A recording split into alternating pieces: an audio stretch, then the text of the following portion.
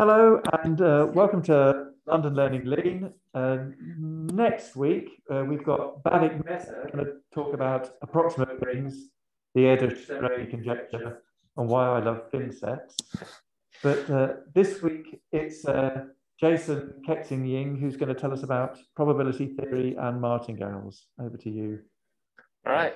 Well, thank you, Kevin, uh, for this opportunity. Uh, as the title suggests, I will be talking a bit about probability theory and uh, martingales. I will be talking about like um, the formalization of it in Lean and uh, some challenges we faced during the process. And um, yeah, um, so as an overview of this uh, talk, uh, I will first be introducing you to um, the historical background, I guess, um, and uh, some intuitive ideas of uh, what a martingale is and why we should care, I guess.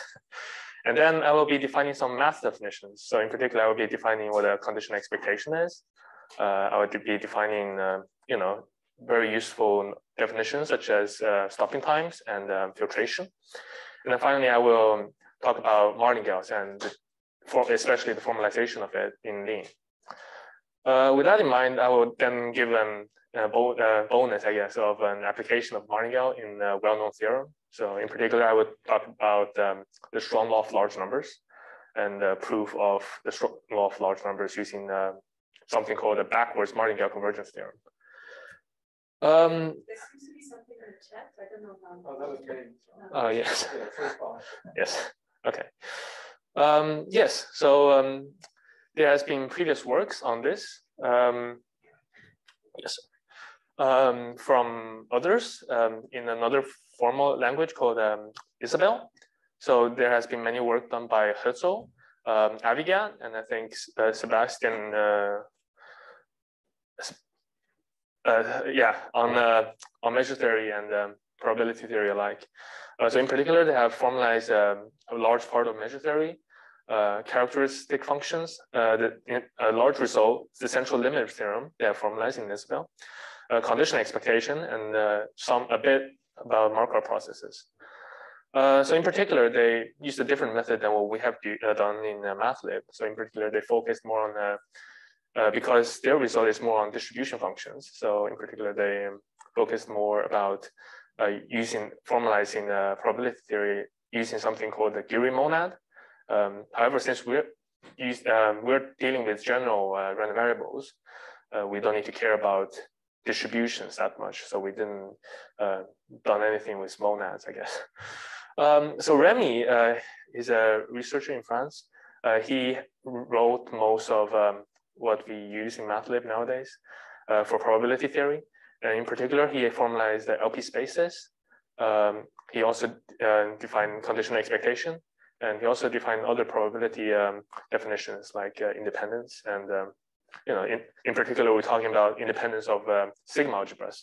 So, you know, we get a bunch of free results from that. Uh, so for the past few months and, you know, a bit before that, uh, so the foundation works as well. Uh, Remy and I have been working on uh, the Martingale project. So in particular, we're aiming to uh, formalize a lot of Martingale results and uh, use this to prove, you know, um, other results, I guess. So in particular, uh, as I've mentioned previously, the law of large numbers and results like that.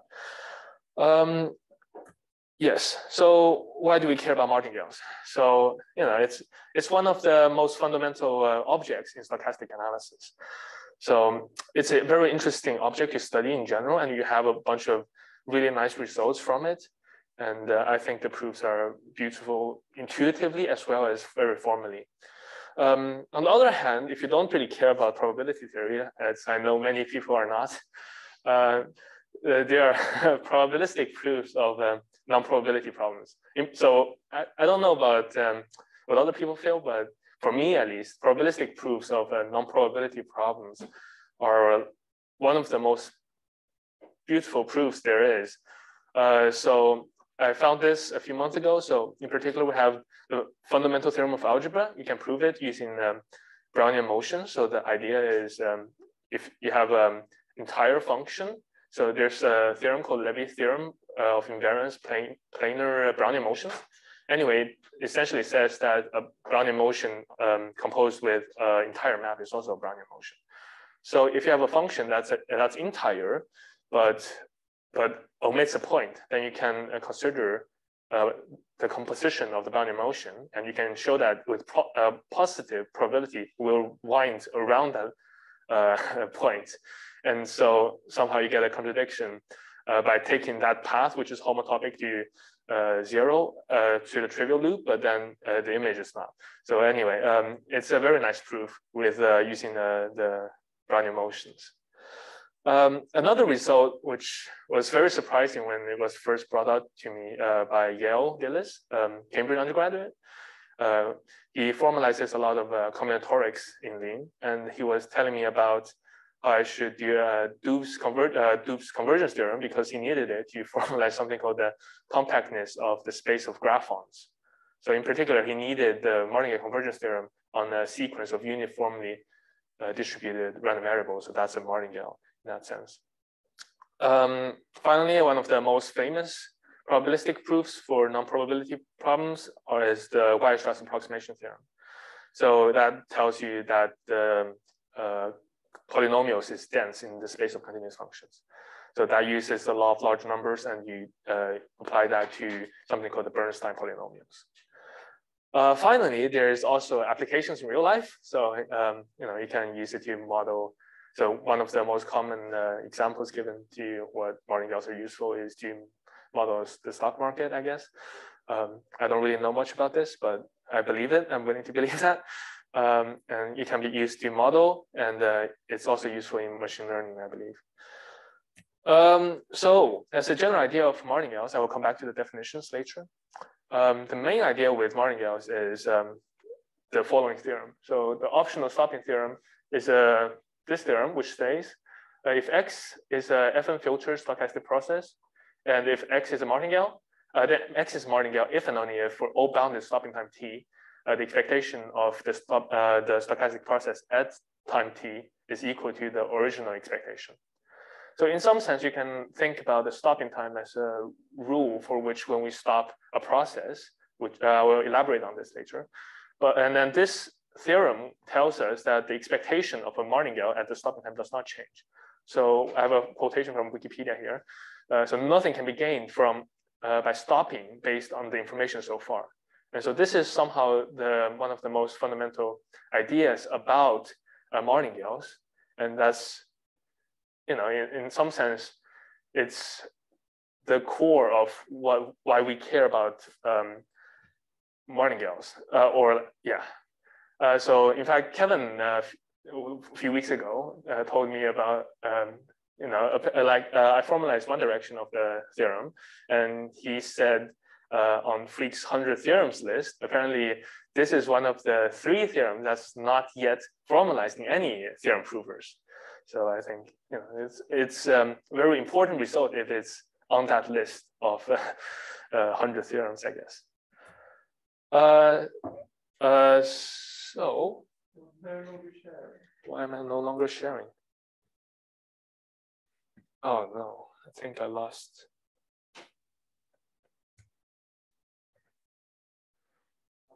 the chat. Oh.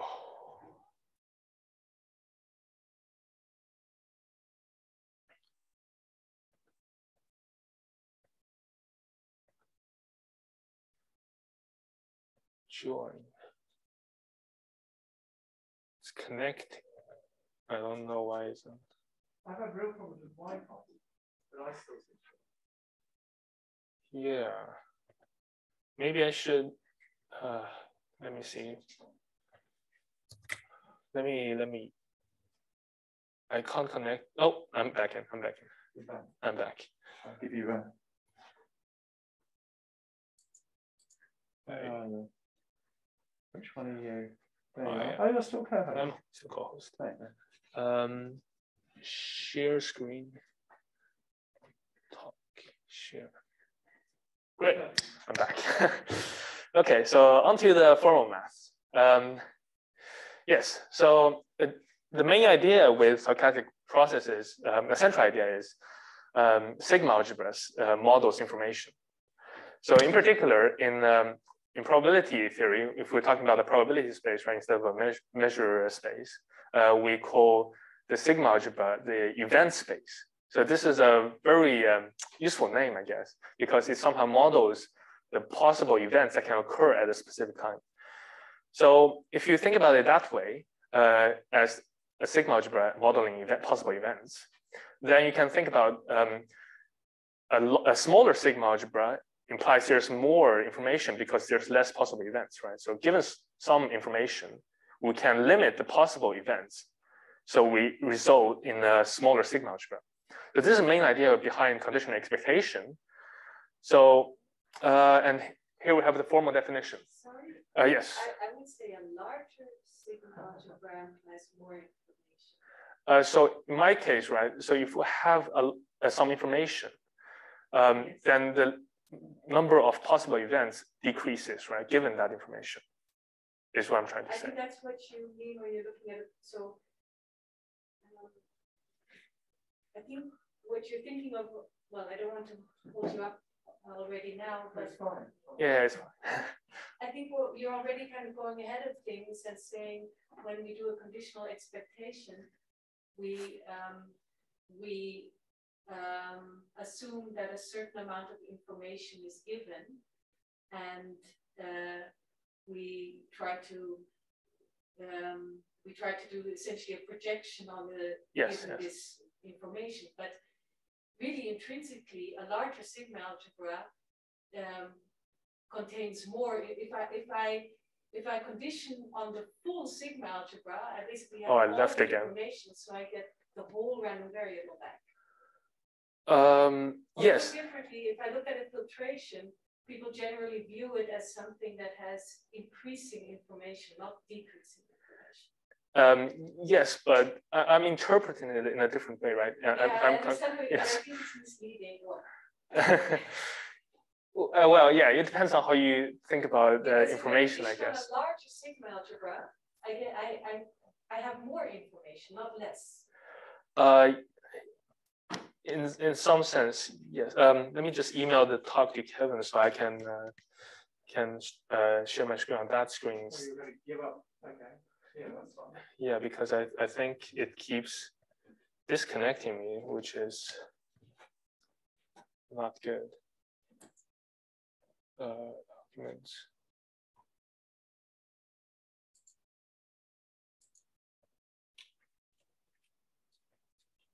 Presentation.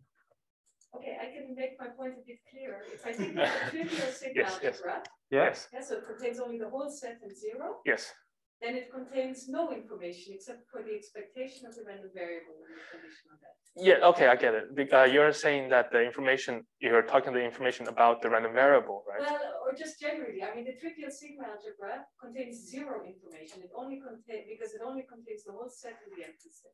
I'm thinking that uh, it uh, the trivial sigma algebra contains a lot of information because only possible if you have a random variable that's uh, measurable with respect to the trivial sigma algebra, the Okay, possible events are also Yeah, but then Yeah. what you're trying to say is that something that is have, that's forced to be measurable with, with respect to a small sigma algebra has few outcome possible. Yes, yeah, that's what I'm outcomes, trying to so say. You know a lot already about yes, the shape it has. yes, But I'd be careful with this formulation Okay. because in general, people will say that the information, that the amount of available information increases as the, uh, as the sigma algebras larger. Okay, yes, yeah. It's an intu- intuition thing, I guess, or like you know how you Yeah. phrase it. Um, but yes, I I agree with you, um, and that's in fact how I, um, you know, how Wikipedia described it as well. I think.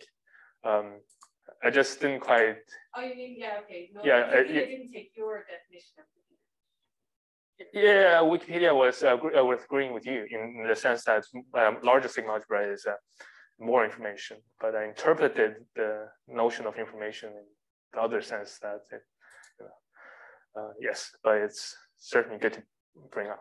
I don't know anything about Windows.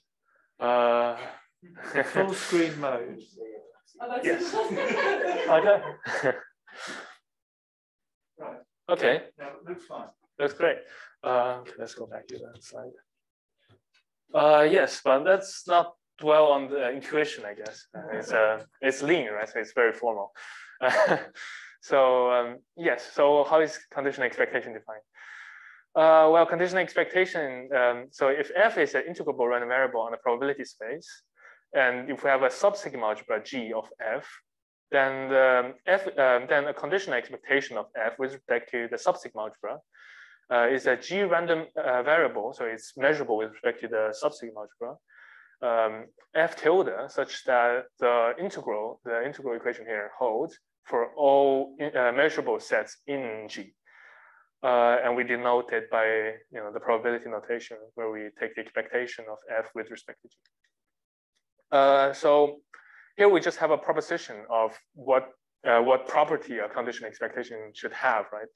Uh, and we can say the conditional expectation, um, so it exists and is uh, essentially unique in the measure theory sense, uh, in that uh, because Radon-Nikodym theorem tells us such a function is, uh, exists and is essentially unique. Uh, so intuitively, or yes, so we can think about this as a projection, as um, you have previously uh, mentioned.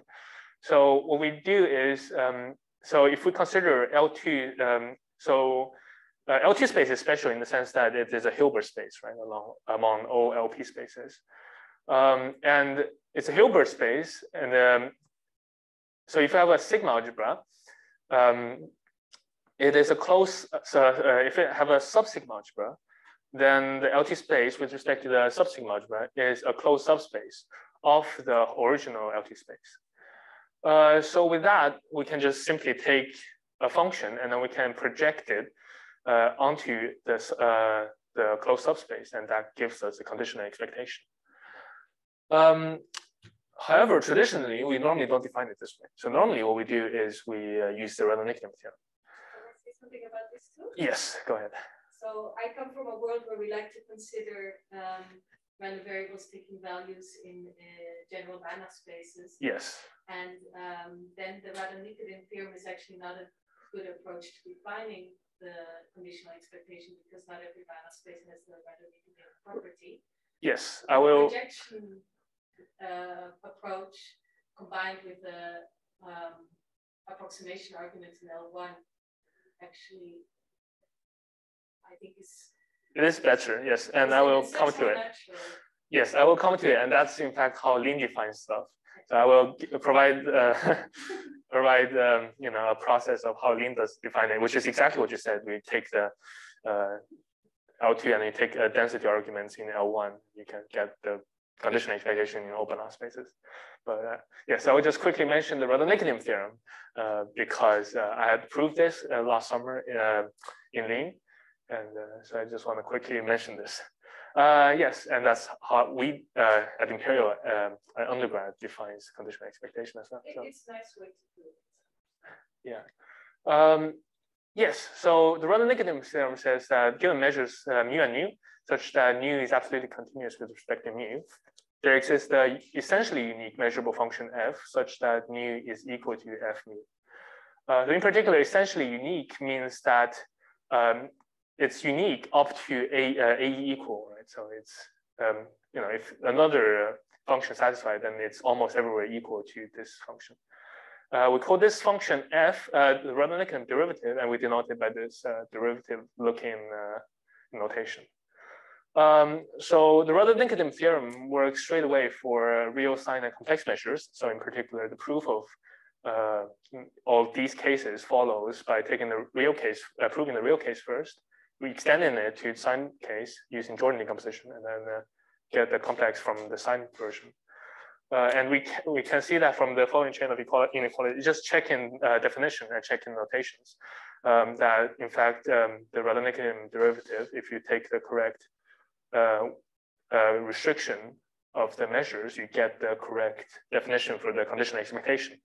So this is one way of doing things. Um, and however, we would like uh, Radon-Nikodym uh, property for a larger class, right? So, um, so, Radon-Nikodym properties um, holds on a space if the Radon-Nikodym theorem is true. And um, in, fact, there's some theorems I found online. I have no idea how to prove these um, that you know a Banach space has a Radon-Nikodym property if it's reflexive or, or is a separable dual space. all Hilbert spaces have uh, the Rayleigh property. Uh, however, we don't want to prove um, a theorem like this for every space we want to work with. Right? We would rather obtain junk for spaces um, that doesn't have RNP or doesn't have, you know, um, condition expectations. So it's somewhat too strong. So this is a bad way of doing things in lean, especially, right? Uh, so the idea is we follow back to the L2 projection case, and um, we can define it like this. So first step, we define, as I've said previously, we define uh, the condition expectation as an orthogonal projection.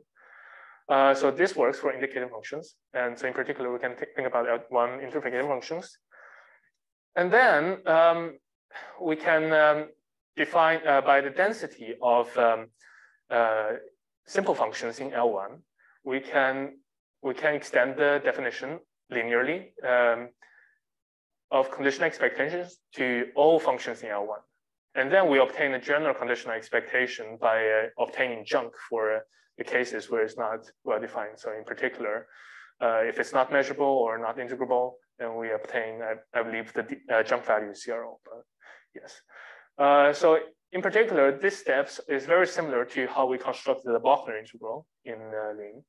And um, it's a very, you know, very nice process to extend, uh, extend definitions like this. And we have a whole in file dedicated to this particular method of extending definitions. Uh, reuse the Bochner stuff?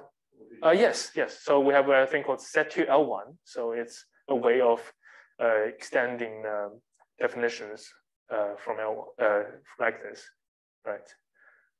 I, in fact, that's that's the file you were referring to a few, uh, I think last month, where we were talking about how many universe levels are there, and that file has the most universe levels.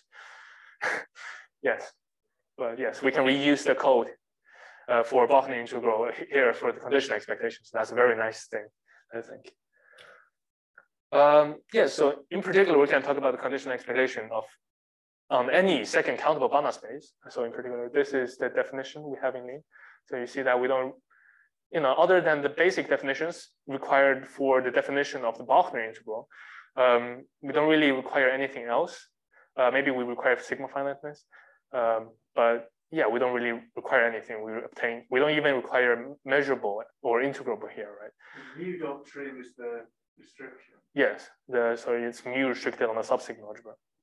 So you have um, uh, M is the overall sigma algebra, and uh, M0 is the subsigma algebra, and HM is a proposition that M is a subsigma algebra of, oh, sorry, my bad. It's M0 is the overall sigma algebra, and M is the subsigma algebra.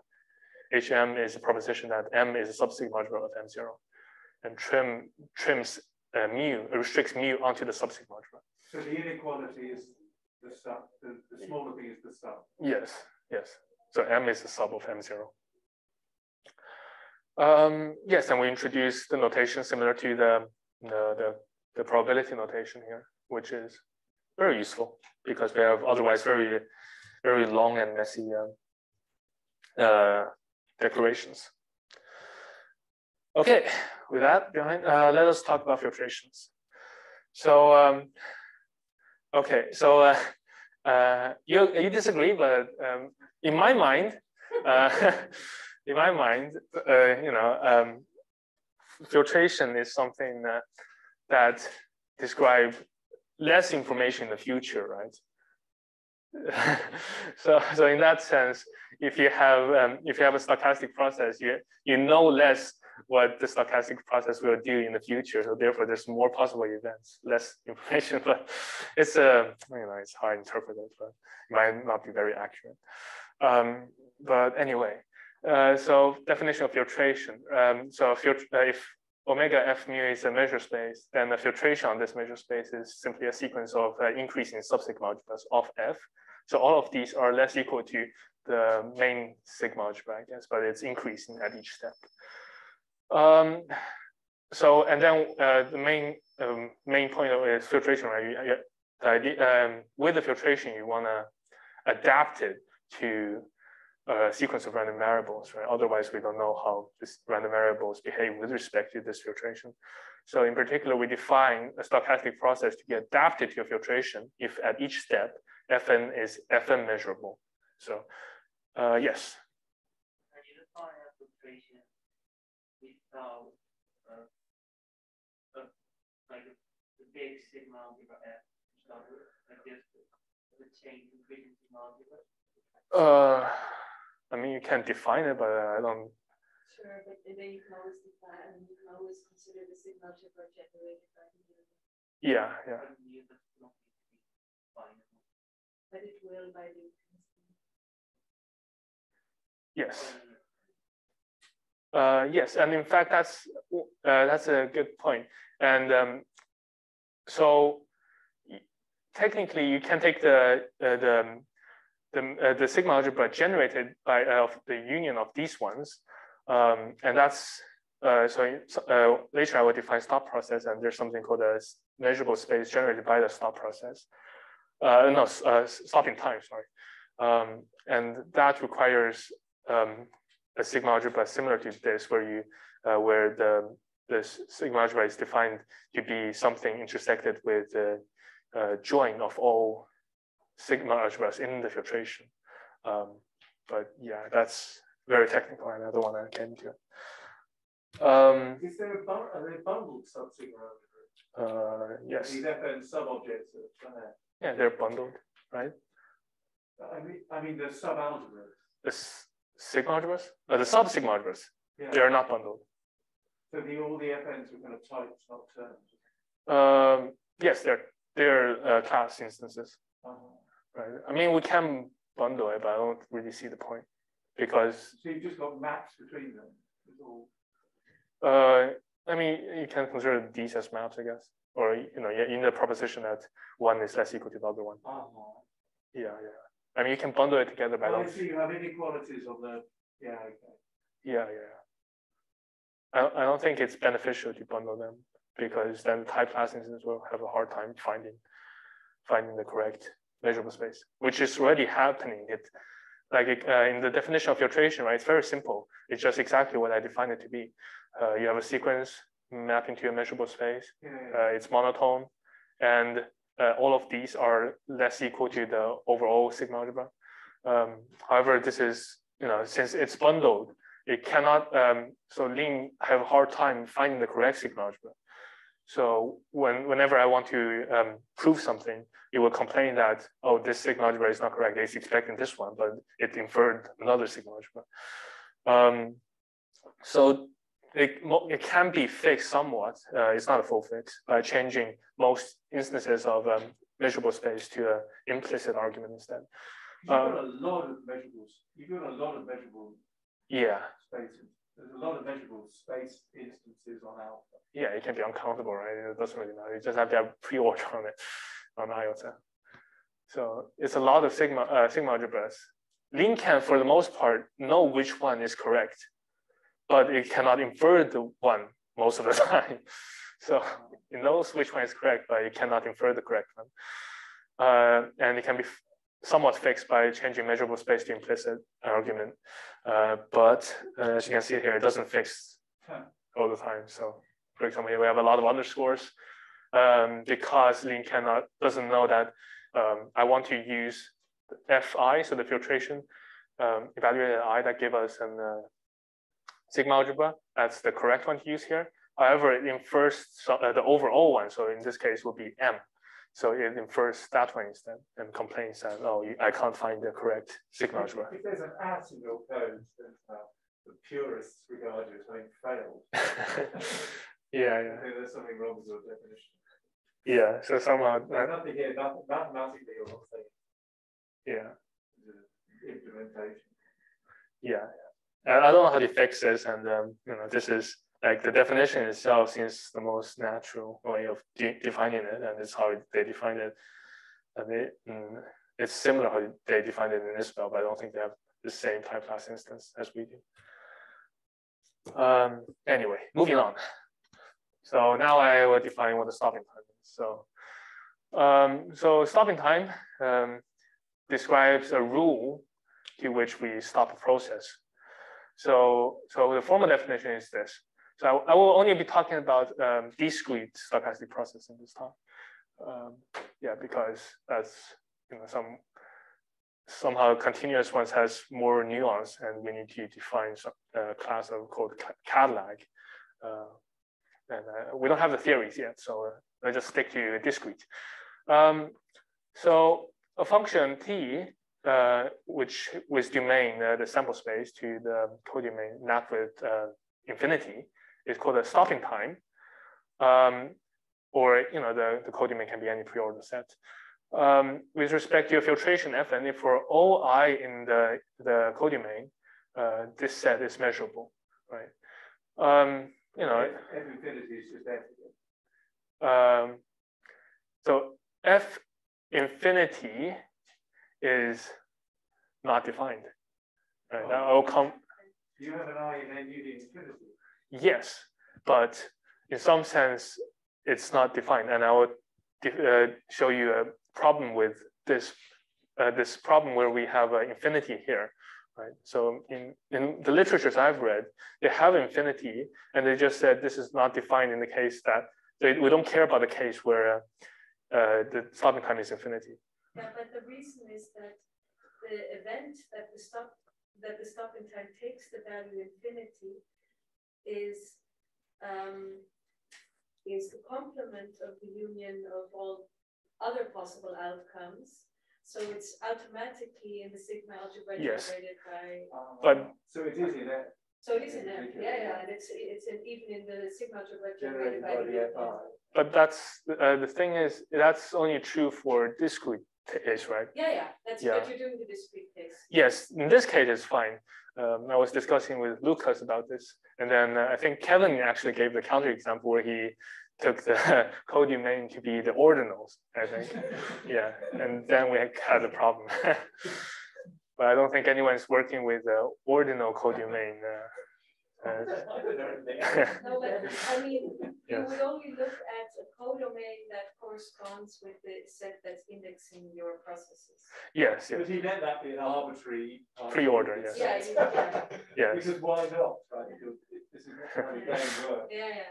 Yeah. So so in that case, so you know the current lean definition is exactly this, and we don't really care in the case that it's real or it works for real as well because you can just you know uh, embed naturals into reals and take the union of that. But um, you know in the case of ordinals, then it doesn't work. But I don't think anyone is working with ordinal stopping times. uh, yeah, and then. Um, Right, so given the stochastic uh, stopping time, we define the stop process. Um, so you know, stop process formally is defined to be um, if you have a stochastic process Fn and a stopping time t, then we define the stop process Ft uh, by this. So in particular, the, the wedge means the minimum.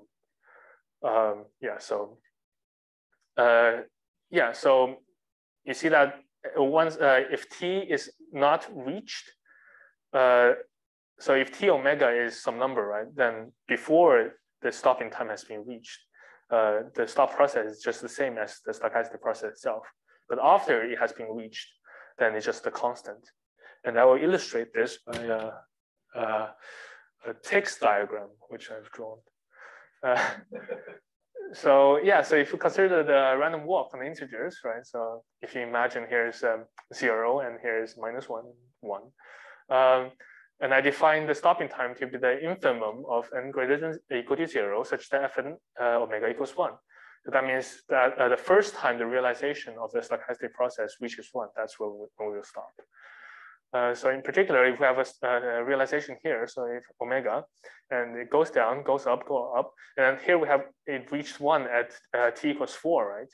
So then afterwards, uh, the stop process will be just constant after here.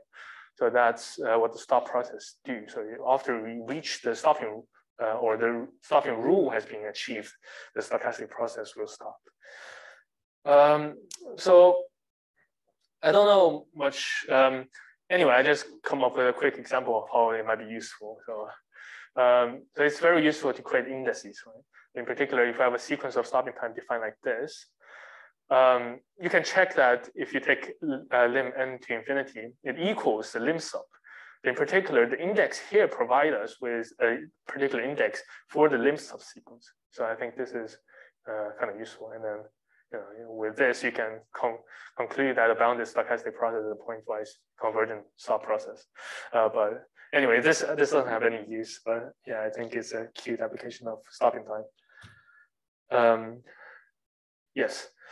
So back to the problem where we have infinity. So the codomain has infinity. So what should we do there? Um, so the stop process is fine, right? Because mathematically we take the minimum with n. So it the infinity uh, minimum, uh, taking the minimum of infinity and n is also always n, right? So the the stochastic process uh, stop process is always well defined for any omega. However, there's another definition uh, called the stop value uh, that where we just define it to be uh, the stochastic process at the stopping time. And it, if uh, if the stopping time is finite, and otherwise it's undefined. Um, so if you work with lean, uh, you know this definition is problematic. Uh, so in particular, we do not like partial functions, right? So in particular, in lean, uh, one over zero is def defined to be zero, right? We, yes. And I could imagine that this definition is also unfortunate when you want to do martingale convergence theorems because then you would want to uh, want to actually consider everything. Yes, yes. So you know it's. Um, I, I don't I don't see how we need f infinity for the, that case. Well, if you so f infinity would be your limiting. Uh, oh, you define the infinity to be the limit. Yes. Okay. Yes, in that case, sure. Um, but yeah, we haven't gone that far yet. so we have not reached, but yes, I'll keep that in mind when we start to formalize uh, the, the convergence theorems. Um, but yeah, so partial functions are problematic in lean. Um, and it's difficult to, uh, because infinity somehow, uh, the stop stopping rule might not be achieved, right? So we need some value for the stopping time in the case that the stopping rule is not achieved. So we somehow need the infinity there, but it's difficult to um, difficult to do. And there's two potential fixes for this. Uh, one is just ignore it. Uh, so with finite or uh, bound, uh, you know, in particular, all the theorems I proved so far is working with bounded stopping time. So, you know, it's it's fine so far. Um, uh, also, uh, before I talk about the second fix, um, you see that we have composed the stopping time with the index here. So therefore, we need the index uh, so since lean is type theory based, right? So the index must have the same type as the codomain of the stopping time. But that means the index of the stochastic uh, process must equal to, uh, must be the same as the codomain of the stopping time, uh, which means that the, if I'm talking about a discrete stochastic process, then I must have an f infinity somewhere, um, you know, which is normally you don't define an f infinity for, yes. No, no, it's fine. Just, uh... So wouldn't it make sense to consider two types of stochastic processes, one for which F infinity exists, because this is actually quite a natural situation that mm -hmm. you often encounter, and one where it does not exist, and then for the ones where does exist, well, it's just a different index set, and there you can allow a final, then you just say the values for which the stopping time must exist should coincide with the uh, with the index set Yes, and uh, that's one potential fix. Uh, uh, so in particular, we have we just promote. So if in the case that the stochastic process have, you know, finite uh, or natural numbers index without infinity, we can promote it up such that it agrees with your definition. So in particular, we give it a junk value. But the problem with this is that um, we're passing around a lot of uh, passing around a lot of um, values. So the types keep changing. And in some sense, that's very difficult to work with. So in measure theory, we work with something called the extended uh, non-negative real numbers. And that's, uh, that's non-negative real numbers um, uh, enco uh, encoding a monad called with top. Um, so, so in that sense, it's similar to that case where we pass around the real value, un underlying real value, um, sometimes with infinity. Uh, but then we have a lot of coercions between the different types. And that is difficult to work with because we need to create a new set of um, lemmas, APIs for each of those types.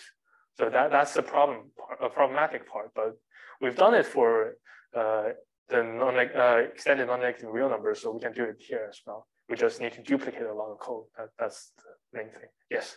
But it's not exactly what I suggested because I suggested to have uh, f infinity to not take zero necessarily. Yeah, yeah. I'm, I'm saying in, The correct Yeah, answer. yeah. yeah, in the case it is uh, it has infinity, then that's fine, right?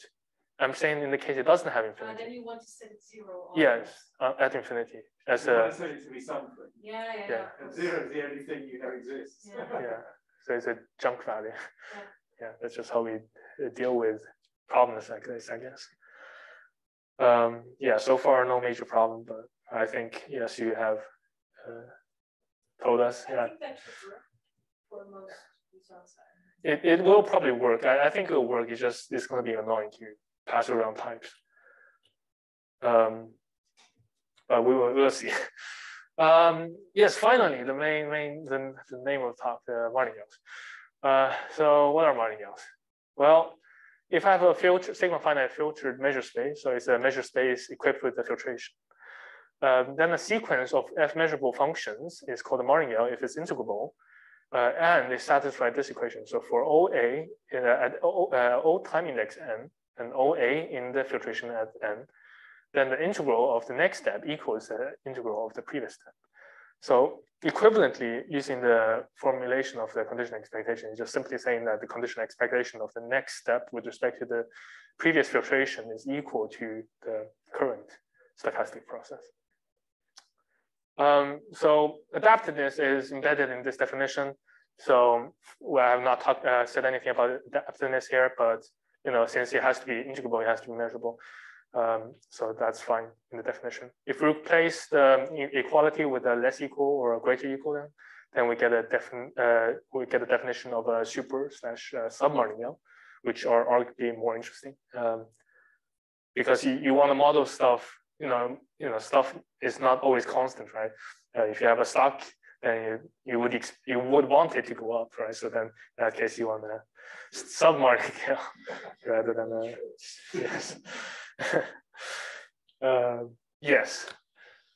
So in Lean, we have conditional expectation. So it's just simply uh, defined with uh, the conditional expectation. But in that case, if we remember that conditional expectation does not require measurability nor integrability, we need to make sure that adaptiveness is included, right? Otherwise, we don't know how the stochastic process behave with respect to the filtration. And uh, the property where the integral property is known as set integral H. This equals n is up to a certain measure zero. Uh, yes, it's almost everywhere equal, right? Uh, yeah, yeah. I mean, I, almost. I didn't say it here, but yeah, it's almost everywhere equal. And with probability theory, all, all the equal signs are almost, almost always, almost uh, everywhere equal. Uh, yes, and we come back to the optional stopping theorem. Um, so yes, so um, you know now with the definitions in mind, uh, this definition actually makes sense. And um, we have formalized one direction of it uh, for uh, submartingales, or you know, it, it's the same for supermartingales. So in particular, the theorem is the following.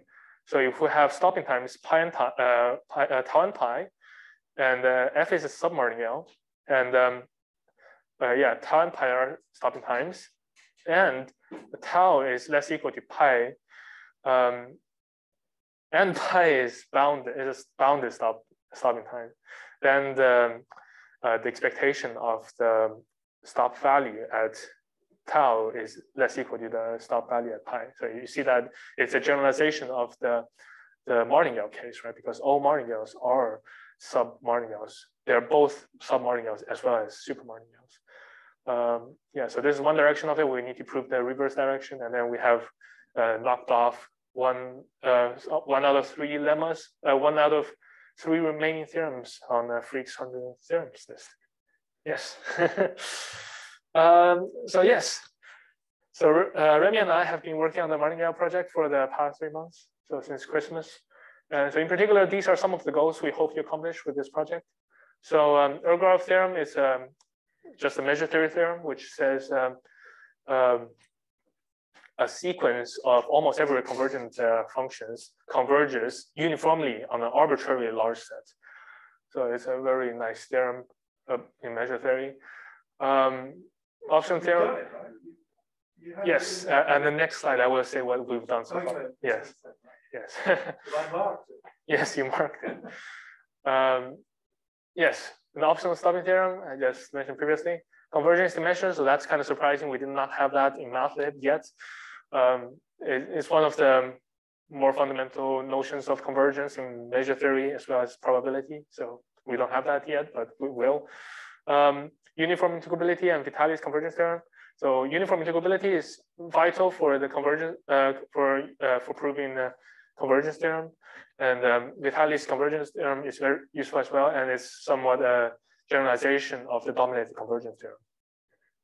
Um, then you have the Doob's upcrossing lemma. So this is a lemma that gave me a lot of pain because uh, it's it's very um, the the proof of it is very hand wavy. Yes. You yeah. can make it formal, but I can see why it's Yeah. Yeah, I mean, the idea is you you consider a band and then you uh, count the number of times the stop uh, the realization of the stop process crosses that band, and then you need to realize some properties. So, for example, if the number of up-crossings is, is um, it's not finite, then the sequence does not converge, right? Because it never goes within the epsilon neighborhood. So, um, you know, a lot a lot of properties from that definition is very intuitive, yet it's very hard to formalize. Um, so this has been giving me a lot of trouble. Uh, I have the definition, but I've not proved much of the properties. Um, convergence theorem, you know, that's one of the main results that we want to achieve with this um, with this um, project, and it has a lot of applications. Uh, maximum inequality, Levy subforce theorem, you know, more advanced stuff. We're not really close to that yet, but we hope to get there some someday. Um, so so far, you know, uh, Egorov theorem, uh, I submitted that as uh, part of my uh, my coursework for Kevin's uh, course. Um, optional, uh, so that's PR'd and it's mathlib. Uh, optional stopping theorem, the, the discrete version, the one direction is in mathlib. Uh, the other direction is not that much harder and it should be in soon once I get time to do it. Convergence measure, that's uh, 400 lines PR, that's currently um, in review. Uh, I, hope it gets merged soon. Uh, uniform integrability, Vitali's convergence theorem. So we, uh, yeah, pull request, yes. PR is pull request. Um, yes, uniform integrability, we have the definition, we have proved many of the properties, such as, the, you know, if you have a single function that is uniformly integrable, it's actually surprisingly hard to um, prove. Uh, I mean, especially because uh, the uniform integrability I've defined is more general than the one um, that's found in literature. Uh, so in particular, I've generalized it for all. so in particular, normally uniform integrability you talk about the integral is uniformly bounded by some uh, uh, epsilon delta.